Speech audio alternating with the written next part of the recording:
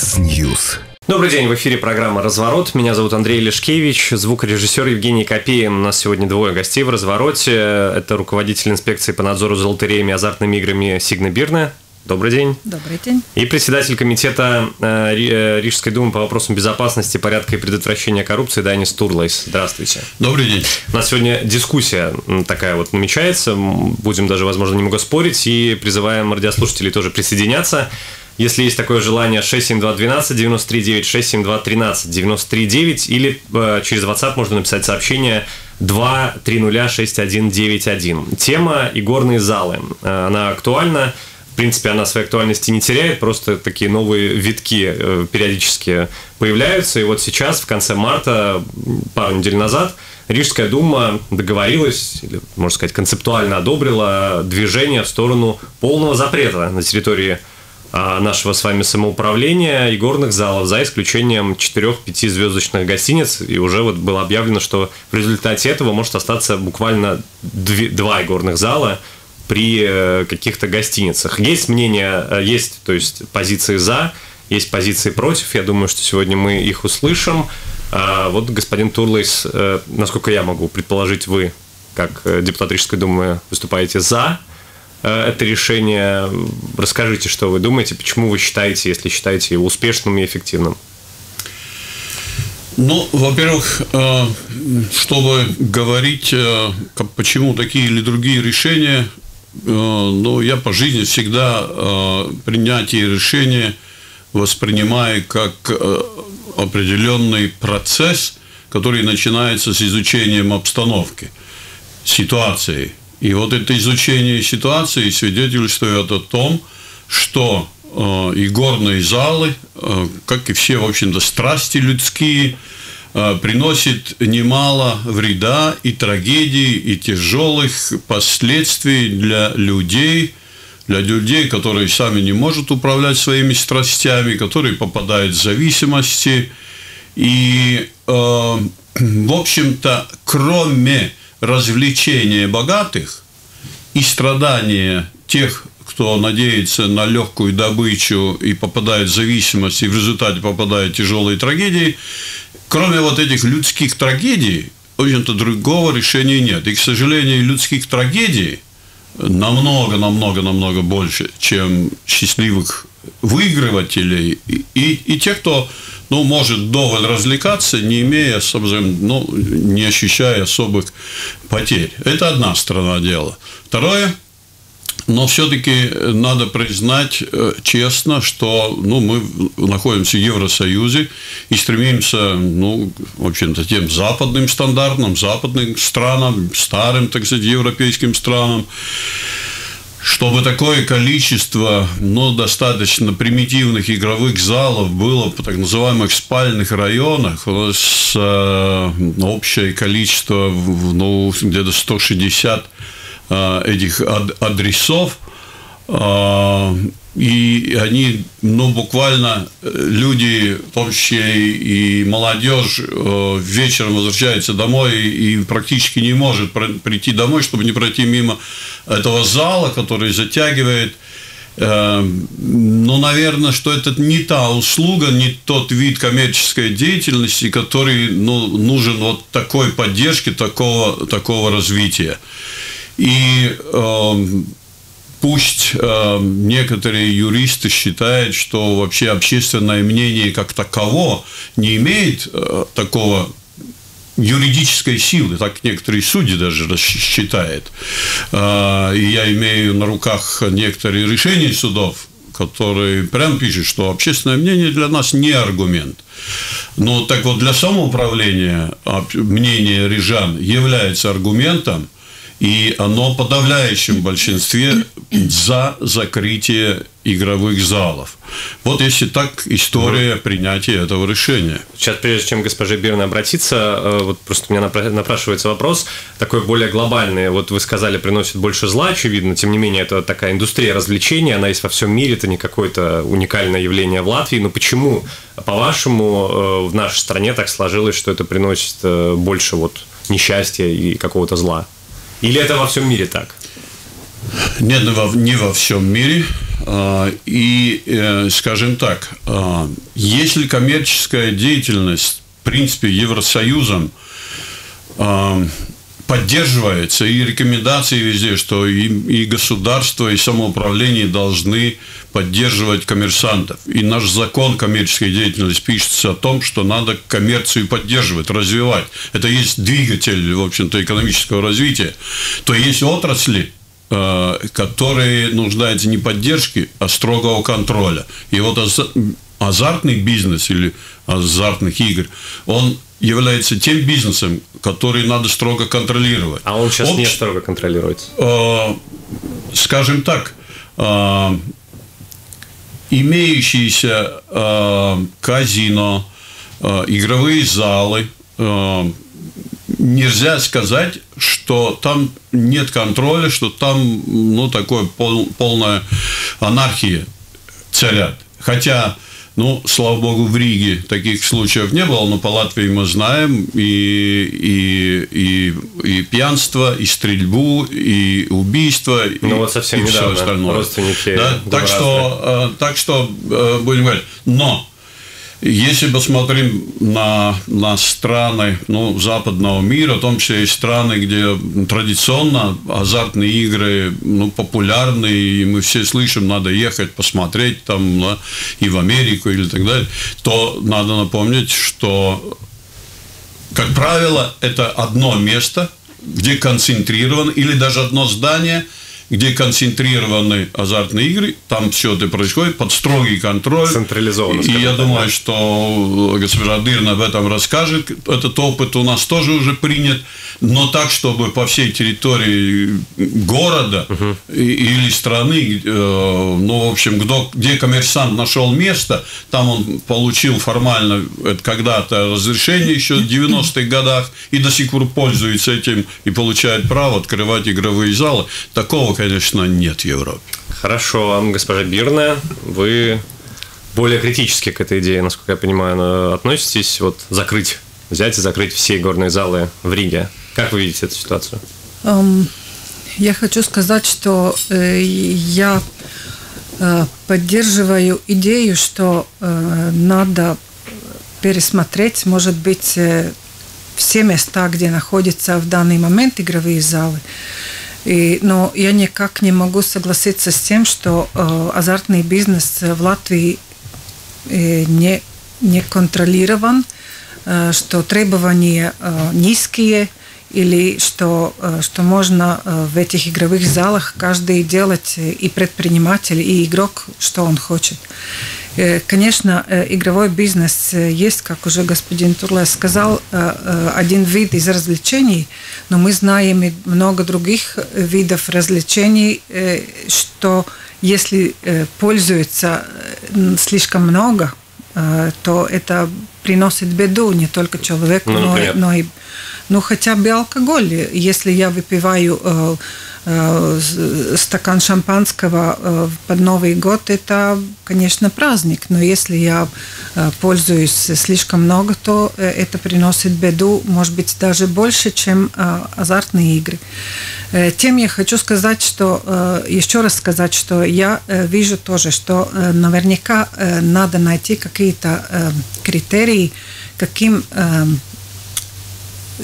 сократить количество игровых залов, особенно э, не то, что сказано сейчас, что надо, во-первых, сократить в Старой Риге, где приезжают э, туристы, где, где э, разные э, тут э, люди, которые хотят э, развлекаться и оставить свои деньги в Латвии, но, по-моему, надо начинать, надо было бы начинать э, с этих, как говорится, спальных районов. С микрорайонов. Конечно, да. с микрорайонов это было бы по-другому. Но, э, конечно, э, лицензии те все игровые залы, которые сейчас находятся в Латвии, у них у всех есть выданы лицензии в самоуправлении в то время, когда э, эти самоуправления, депутаты самоуправления приняли такое решение. Так что э, ни, одно, э, ни один игровой зал, ни одно казино не, не открылось просто, просто так. То, что я еще хочу сказать насчет иностранного опыта, я хочу напомнить, что еще 2006 э, года, когда настоящий закон вступил в силу, в Риге, и не только в Риге, во всей Латвии были еще такие игровые места, которые, например, бары, там булочные, пельменные и всякому, где стояло по 2, 3, 4 аппарата. Uh-huh. И до того это было где-то больше, чем 3000 разных мест, где стояло по, по этим несколько количества аппаратов. И может быть потому, э, э, такого, конечно, в Риге уже нет с 2007 года, не только в Риге, вообще в Латвии это запрещено законом, и есть только игровые залы. И может быть потому, что эти игровые залы с такими большими надписями, с такими э, витринами красочными, их более заметно. Но то же самое, эти игровые аппараты есть и, в Германии, и в Австрии, и в Великобритании, в Лондоне, в Амстердаме, везде, где мы в той же Брюсселе, где мы едем достаточно часто, только эти игровые залы не такие, как скажем так, яркие, как у нас, но очень много. Вот зайдешь в какой-то бар, в кафе, паб, и там видишь, стоит там 2, 3, 4, 5 аппарата, которые, на которых люди играют. И таких мест очень и очень много в в той же, в той же старой Европе. Но мы же отличаемся, и, вот страны да, да, отличаются, и ситуация отличается. Конечно, потому я хочу сказать, что э, азартный э, бизнес регулируется в каждой стране по-своему, и каждая страна может принимать какие, насколько строгие законы э, требуются по, по, по историческим принципам, по, по, по культуре, по, по социальным проблемам, и каждая страна э, представляет свои законы и свои требования азартному бизнесу. Ну, вы э, вот выступаете что, против такого полного закрытия а да. потому что это как-то лишает э, людей, не знаю, возможности какого-то развлечения или э, то есть на что акцент, э, с вашей точки зрения, ставится Нет. в большей степени? Или вы, вы просто, извините, вы еще до этого уже успели сказать, что есть экономическая составляющая, которую тоже мы обсудим. Да. А, то, что это, это потеря больших денег. Вот с вашей точки зрения, что важнее? А, важнее, конечно, важнее, тут не о чем говорить, это важнее э, люди. И, и это сказано и в законе об азартных играх, как цель закона, чтобы защитить интересы э, игроков, э, чтобы эти игры вообще были предоставлены, э, скажем так, честные, что есть возможность выиграть, и если и, и в том числе, если у кого-то э, возникают проблемы э, с азартным бизнесом, то, конечно, государство должно им помочь. Э, я хочу сказать, что я э, э, напоминаю, что э, этот бизнес, э, э конечно, это э, легальный бизнес, который позволяется законом и э, закрыть полностью, как говорится, э, под ноль, э, это было бы очень, э, ну, скажем так, несправедливо э, не только э, к, к этим предпринимателям, которые делают, э, занимаются этим бизнесом, э, но, э, во-вторых, я думаю, что по опыту и других стран, что обязательно всегда будет, будут люди, которые хочет, захотят играть все равно, и и будет всегда кто будет э, готовы предлагать им эту услугу, но уже подпольно, угу. уже бесконтрольно, без, без каких-то гарантий о, о, о какой-то э, правдивой игре, без гарантий, что, что можно что-то выиграть и вообще вы, выплатить какие-то выигрыши. Так что э, это было бы гораздо хуже, если этот бизнес э, прошел бы э, подполье. Конечно, это наша, я уже знаю, э, претензии собеседника, что это наша задача контролировать бизнес, но, конечно, вы и любой понимает, что контролировать легальный бизнес и пойти в, в легальные места и выдвинуть какие-то требования, это гораздо ну, легче, скажем так, и с, меньшими административными издержками, нежели пойти там с полицией, искать в каких-то угу. подвалах, где-то в каких-то местах, где собираются э, люди, которые хотят играть, там, там деньги, там, там какие-то непонятные э, актив, активности происходят. Ну, Это... два, два вопроса. Да, господин Турлов. Один, одно, одно добавление. Угу. Я все время сталкиваюсь вот с тем аргументом, что вот человеческие страсти, алкоголь, наркотики, азартные игры Вот если их будет строго регулировать, будет стро, строгая нормативная база и, э, и строгий контроль, запреты в том числе, да, что вот это все загонит в подполье, и, и, и мы захлебнемся о том, что предложение будет, но только, только нелегальное. Ну, давайте отменим правила дорожного движения. Ну, что, не попали, не, не нарушил. Ну, никто же не собирается отменять правила дорожного движения, пусть ездит как, то, как хочет. Э, и есть же большая разница. Я совершаю, ну, вот свои страсти какие-то – Э, удовлетворяю эти страсти, э, пользуюсь незаконными услугами, и если я попаду, то я совершенно законно попаду за решетку, а если все это будет разрешено, так извините, где? Где ограничения? И, конечно, э, культура общества, зрелость общества, я бы так сказал, она тоже играет определенную роль. Поэтому попытки ну, как-то перенести любой, любой модель то ли очень э, либеральные, но из новых европейских стран переложить просто в Латвии не сработает. И точно так же и западный пример, который вот так взять, посмотреть, и вот мы так, так же сделаем, не пойдет. Но э, то, что мы должны вот исходить из той реальной ситуации, оценивая общество, потребности, риски и принять разумное решение, чтобы максимально все-таки ограничить и контролировать, и особенно думать о молодежи, может быть, есть необходимость возрастной ценз поднимать.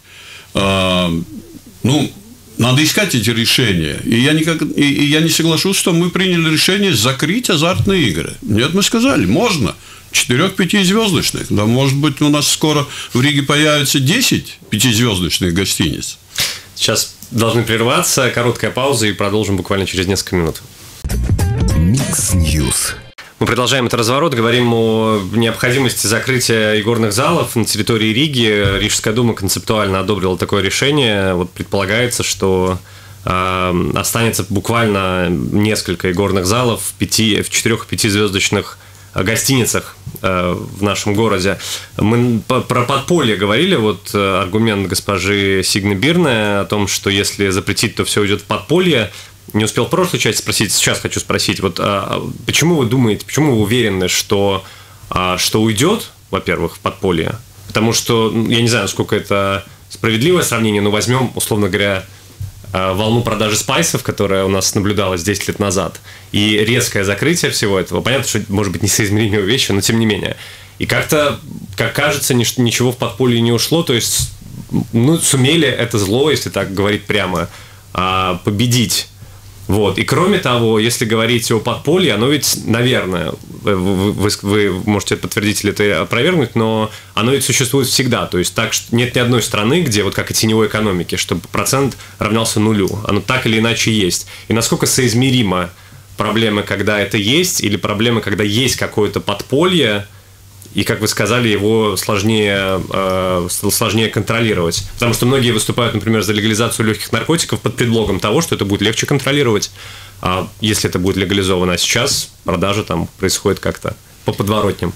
Ну, э, я могу только сказать то, что у меня есть информация э, с других стран, где тоже Э, в той же, например, э, Австрии, старая э, европейская демократия, и тоже сделали более, более твердые требования по, по, по азартному бизнесу, как раз именно в игровых залах. И наши коллеги рассказывали, что они сами знают, что в, в одной Вене, которая столица Австрии, 20% нелегального бизнеса. И, конечно, это очень, очень трудно ну, трудно, это работа, конечно, но надо а, ну, пользовать э, больше сил и больше административных ресурсов и больше, а, как говорится, людей вникать, чтобы, чтобы это контролировать и чтобы запретить. Но везде, ну, ну, ну всегда это такая, такой закон, скажем так, то что, э, то, что запрещено, то всегда хочется, э, это все равно захочется, и если если кто-то хочет получить какую-то услугу, тогда всегда найдется, который будет готов это предлагать. Но это, ну, ну я не знаю, это закон экономики, скажем так, что всегда то, что запрещено, оно ну, очень сладко. Соотношение, я имею в виду, ну, это будет, но... Я, конечно, я не могу сказать, что будет 100% все, и я, зная этих предпринимателей, которые сейчас работают на рынке, я, честно говоря, не могу представить, что, что кто-то из них э, прям, ну, может, ну, не могу сказать, конечно, никого Возьмет, называть уйдет. и уйдет в э, да, потому что это достаточно большой бизнес, достаточно большие вложения, инвестиции и, и, и то же самое. Но э, достаточно часто мы получаем звонки с разных скажем так, интересентов, которые хотят, что мне надо сделать, я хочу там э, где-то там в кафе там открыть какой-то зал, что мне надо делать, как я могу получить лицензию. Это сразу понятно, что человек хочет заниматься этим бизнесом, но он э, не, не, недостаточно понимает, насколько это серьезно, насколько эти, какие требования, и он был бы готов э, это предлагать при любой маленькой возможности, если что-то как-нибудь эта регуляция воздвинется со своего места. А, господин Турлайс, э, два вопроса по поводу эффективности э, закрытия залов в Риге. Вопрос первый.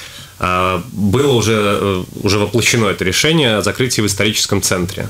Многие скептики говорят, что, ну, может быть, образ города как-то там в лучшую сторону изменился, но э, исторический центр, он там небольшой, и все, кто хочет, благополучно проезжают три остановки и выезжают на окраину или даже чуть-чуть за центр, да, не произойдет ли, ну так ли это, и не произойдет ли то же самое, по сути, с э, закрытием в самоуправлении, потому что взять соседние самоуправления, условно говоря, Саласпилс или Юрмала, которые даже как-то мысленно воспринимаются во многом как часть Риги, выезжаешь туда и продолжаешь играть, никаких проблем.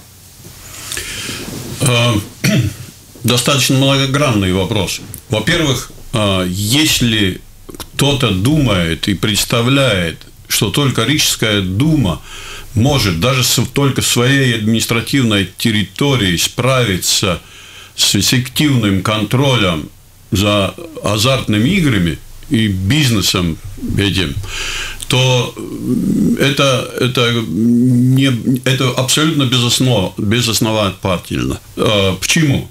Потому что, во-первых, э, даже с момента, когда Рижская дума принимает решение о закрытии э, конкретном адресе э, этого бизнеса и отзывает выданное разрешение на, на это конкретное место. И это есть единственная функция самоуправления, которую он может реализовать, потому что больше никаких функций самоуправления не существует. Только место конкретного для этого бизнеса. Вот если мы его отзываем, то коммерсанту закон, не Рижская дума, а закон дает 5 лет на закрытие этого бизнеса. Вот в течение 5 лет он может работать. И никак, самоуправление не имеет никакой возможности воздействовать на, на этот процесс. Это раз. Второе. А, суды. Они уже происходят. И суды а, являются ли они защитниками интересов э, рыжан и общества целом. Я имею совершенно точные ответы. Нет. Почему? Потому что суды пишут в своих э, э, э заключениях, э, когда коммерсант оспаривает наше решение, что общественное мнение для суда не является аргументом. Хотя закон э, о котором мы сегодня говорим, в своей первой статье пишет, что закон написан для защиты интересов общества и игроков. А вы когда говорите, извините, об общественном мнении, вы, вы вот, ну, это такое достаточно абстрактное понятие. Нет, Вы про что говорите? Про совершенно конкретно. Или Мы в Риге несколько раз проводили опросы общественного мнения и отношение к азартным играм, и э, о том, желают ли люди, чтобы самоуправлению было дано больше возможностей повлиять и контролировать этот бизнес, в том числе и ограничивать его, мы всегда получаем абсолютно подавляющее большинство ответов на то, что да, ограничить максимально контролировать и более эффективно. Ну, вы смотрите, э, государство признает законом, э, тут и госпожа Дырна ничего не может изменить, выданные самоуправлением разрешения в каком-то адресе организовать азартные игры еще в 90-х годах, они действительно по сегодняшний день. А торговцу яблоками или цветочками они только на сезон. Вот он имеет сейчас на, до конца э, этого сезона, до, до там, ноября, э, скажем, разрешение. В следующем году ему надо новое – но несоизмеримые, несоизмеримые нормы и несоизмеримое, ну, такое либеральное отношение к этому делу. Когда это, я же помню... А это следствие чего? Это лоббирование? Конечно. Да, конечно, лоббирование. Мы же смотрим, как сегодня, как это все происходит. Сегодня собираются группы, э, организовывается ассоциация, организовывает группа людей, которые проводят на общественное обсуждение – Э, они высказывают свое мнение, пытаются создать мнение, что люди за этот бизнес. Мы, мы обязаны считаться с этим э, вопросом. Это не просто так, собрались депутаты в зале, проголосовали, и все происходит. Нет. Нет, это реальное противоборство. И не забудем, что все, что строится на страстях людей – это очень близко, это на грани с криминальным бизнесом. Ну, я бы сказал, там, где деньги замешаны крупные. А разве бывает страсти без денег? Хорошо, второй, сейчас госпоже Бирне тоже слово дадим. Э, второй такой вопрос и тема комплексная. Это собственно, касается денег, не секрет, абсолютно очевидно, что это очень прибыльная история, в том числе для государства. Она приносит в бюджет очень большие деньги, разные цифры называются, но это десятки миллионов. То есть я вот э, там обнаружил, что за год э, порядка 84 миллионов в госбюджет, и в Рижске порядка 10 миллионов поступает вот от этого бизнеса. Э, вопросы такие, как вы считаете, позволит ли государство э, предпринять такие решения, скажем так, вот на уровне закона, потому что, ну, это получается спиливание, сука, на котором сидит собственно, вот, государства. И второй сразу вопрос задам. А если речь идет о потере таких денег, то значит ли это, что какие-то другие тарифы будут сокращены? Может быть, это тоже уже обсуждалось, раз концептуальное решение принято? Давайте вернемся э, э, школьную скамью, скажем, класс пятый, примерно четвертый, пятый класс. Вы это помните лучше, вы помоложе. Мне это напрягать уже память надо. Но если э, у нас, э, ну, округлим налог, скажем, чтобы легче считать было одна четверть. Вот вы говорите, в Риге получила 10 миллионов. Это значит, мы получили одну четвертую часть прибыли то, что получил коммерсант. Значит, он получил как минимум 30 миллионов. Угу. А где он получил эти деньги? Эти деньги выложили наши люди, рижане, которые получили зарплату и выбросили ее коммерсанту. Пожалуйста, бери. Но это их решение. Скажут некоторые. Некоторые скажут.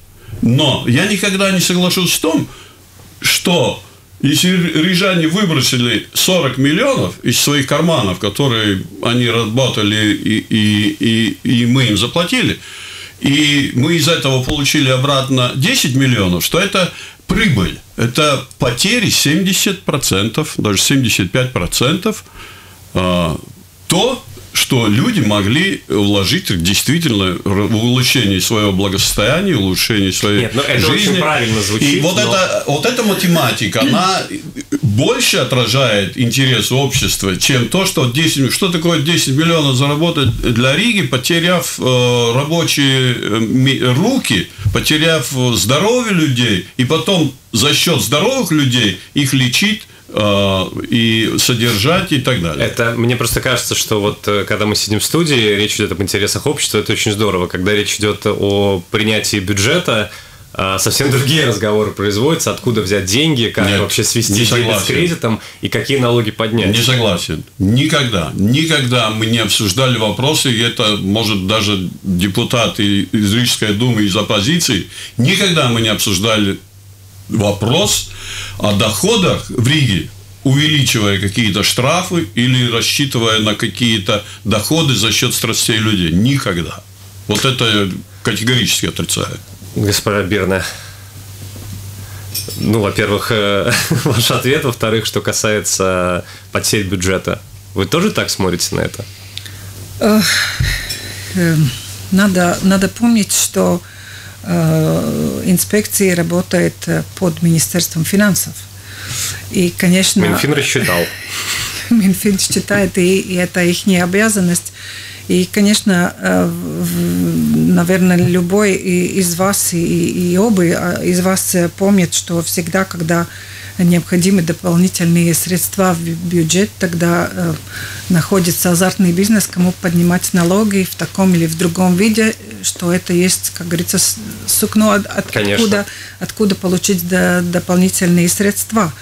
Но э, в данный момент, если закрывать прям все, тогда, э, конечно, э, эти средства и эти, эти деньги, которые вы называли, это в общем число около 80 миллионов, например, в 2018 году, это, конечно, тогда надо будет придумать, откуда и каким образом ну, это восполнить. Восполнить, да, и откуда такие деньги дополнительно взять.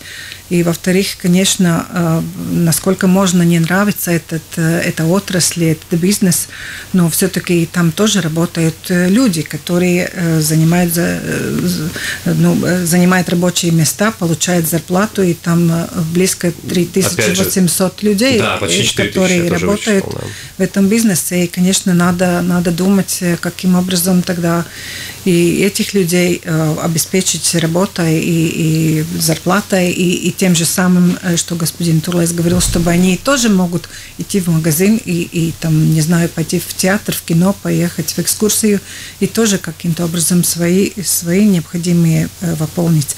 Так что, э, конечно, это очень комплексное решение должно быть очень взвешено. Все эти решение, э, что сократить, насколько сократить, и чтобы, э, конечно, вспомнить и, и, и думать о том, как, как люди, которые э, потеряют из, из азартного бизнеса, у кого есть проблемы из, из, из этого, но все-таки это надо помнить, что это легальный бизнес, и э, говоря о том, что пять лет этот переходный период, я, э, честно говоря, не знаю другой легальный бизнес, кого вообще можно закрыть не из-за э, нарушений. Если есть, конечно, нарушение, тогда можно аннулировать лицензию, закрыть и то и прочее. Там, не знаю, алкоголь, табак или что. Или люб, любой магазин, или любой, э, любой бизнес. Но я, например, вот сижу и думаю, я в данный момент не могу вспомнить ни один другой бизнес, которого можно просто так вот менялась какой-то ситуация, мы закрываем. И потому что есть достаточно серьезные требования в законе, Э, который должен выполнить э, игровой зал, э, начиная с, с устройства этого зала, с, техническим требованием, самим аппаратом, видеонаблюдения, эти охраны и то и прочее. Это достаточно большие инвестиции. И, конечно, любой бизнесмен с этим считается. И ну, он должен знать, когда, э, когда он должен закрыть свой бизнес и для этого подготовиться. Ну вот по поводу закона э, готовится вот это вот введение новой этой нормы, и вы ее одобряете, ну ее сложно не одобрять, конечно, это создание регистра лиц, которые считают себя, которых испытывают проблемы. Да, и, почему... И да, простите, я сейчас закончу. Да. И э, конкретно тоже, что очень важно, это то, что если, ну, этих людей, э, они просят сами себя не угу, пускать, да. их нельзя пускать, но сейчас, да. сколько я понимаю, все на совести э, игорного зала, пускать или нет. И планируется ввести штрафы за то, чтобы, если человек будет пускать, то есть если, ну, коммерсант имеется в виду, будет пускать таких лиц. Э, первый вопрос, почему это только сейчас вводится? Столько лет прошло, что до этого мешало? Um... Ну, э, я не могу сказать, почему только сейчас. Я, я очень рада, и я, я прям счастлива о том, что мы добились, э, что сейчас в бюджетном пакете э, изменений в законе и сказано тоже об, об этом регистре, что будет вестись в силу да, мы будем, э, уже, уже работаем над технической спецификацией э, регуляции кабинета министров, э, которые еще будут. И, и я очень довольна, что будет такие, ну, такая возможность помочь людям, которые есть. В данный момент, да, правильно, это наша инициатива, требование бизнесменам азартного бизнеса, чтобы они без закона, без требований закона помогли людям и, и принимали их требования во внимание Э, конечно, как вступит в силу закон, изменения в законе, э, мы будем, у нас будет возможность наказать их, если они не будут это требование делать. Да, дополнительно того я хочу сказать, что и у нас в инспекции будет еще и штат психолог, консульт, консультант, который э, помог, поможет этим людям, у кого есть проблема, принимать правильные, скажем так, решения, что делать дальше с его, э, скажем так, жизнью, с его э, активностями, куда идти, какую помощь лучше всего э, в каждой ситуации искать. Так что мы над этим очень много работали в прошлом году, и я на самом деле очень счастлива, скажем так, что, что это все-таки эм, эм, будет, будет в силу уже достаточно скоро. Давайте звонок. У нас очень много звонков звонков. Давайте наушники наденем и примем звонок. Слушаем вас. Добрый день. Добрый. Вот говорят о помощи зависимым людям. Ну хорошо, им помогут. А ведь подрастает следующее поколение, начнется следующая партия зависимых. Это получится вообще какой-то замкнутый бесконечный круг. Спасибо. Спасибо. Конечно, нельзя согласиться, э, и я уже это говорил, что молодежь это ну, должна быть центр внимания в первую очередь. И, не знаю, возрастной центр, еще какие-то меры, чтобы э, те, которые сами не могут... Ну, этот бизнес есть страстей. И вот когда э, тут моя коллега говорила, что она не знает ни другого бизнеса, который, если нет нарушений, и чтобы его ограничивали. А я, стал, а я думаю о другой категории. Где еще, какой еще есть в мире бизнес, который базируется только единственно на страстях? Вот есть человек, который хочет, э, по- по-русски говоря, просто на халяву еще заработать, угу. да? И, и вот он дверь открывает, заходи, заходи, оставляй деньги, поможем тебе разуть. И уходи и потом приходи, пытаясь отыгрываться. Где добавочная стоимость? Где она? Ее нету. И вот люди, которые там работают, они же все работают на одном. Отдай мне деньги. Заходи, отдай деньги. Ну где еще, какой еще бизнес? Нет такого бизнеса. Поэтому и во всем мире ну, этот бизнес вспомнить. не тот, который должен быть поддержан со стороны государства, со стороны самоуправления, а, а должен контролироваться. Мы признаем, мы признаем как государство свою беспечность и свою неспособность воспитывать людей, э, ну, не попадать в зависимость от своих страстей. И поэтому мы вынуждены принимать такие меры. Э, но э, говорить, что этот бизнес можно приравнять любому коммерческому бизнесу, который помогает развиваться экономике, э, не соглашусь. Ну, а кредитование, например, вот это вот э, краткосрочное. А, ну, э, деньги, товар, деньги – это формула, в общем-то, не, не, не, не, не сегодняшнего дня. Да? И деньги, на самом деле, являются товаром. И купля-продажа денег – это то же самое, как купля и, и продажа любого товара. А, политический вопрос хочу вам еще задать, Денис, а, вот как политику. Тоже мнение, которое распространилось, это о том, что вот если брать Рижскую думу конкретно и нынешнее положение дел, а, вот звучит мнение, что вся эта история, вот инициатива, исходящая от коалиции, она связана с тем, с двумя моментами. Первый – это желание насолить министру охраны среды, которого вот там его партию подозревают в том, что она как-то связана со спонсированием со стороны такого рода э, предпринимателей. Второе – это приближающимися выборами в Европарламент, что якобы вот часто все утихнет, и тема это может тоже э, стихнуть. Ну и как-то, может быть, не так радикально уже преподноситься. Как вы думаете? А, Тут нечего думать. Э, первое решение, э, во-первых, начиная с 2009 года Рижская дума не выдала ни одного разрешения на открытие новых э, залов.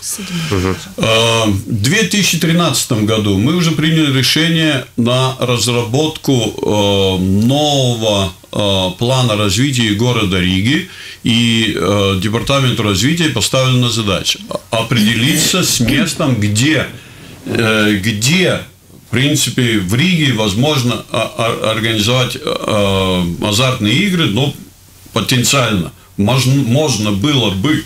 И То есть Лас-Вегас. Это еще, ну, можем назвать как угодно, наверное, вся Латвия чуть поменьше в объеме экономического оборота, чем Лас-Вегас, но, но такая задача еще в 2013 году. Не забудем э, центр, исторический центр Риги, принятие решения на 43 залах закрытия.